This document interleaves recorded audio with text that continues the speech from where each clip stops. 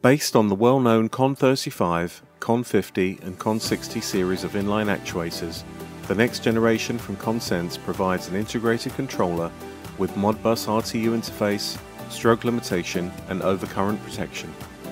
But you are not limited to Modbus RTU protocol.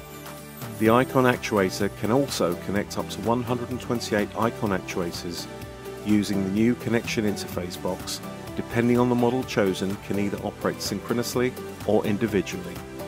As with the standard range of CONCENS actuators, the ICON series of actuators can be configured according to your needs, whether it be stroke length, colour or IP grade, thus providing optimal flexibility and versatility that has become synonymous with CONCENS.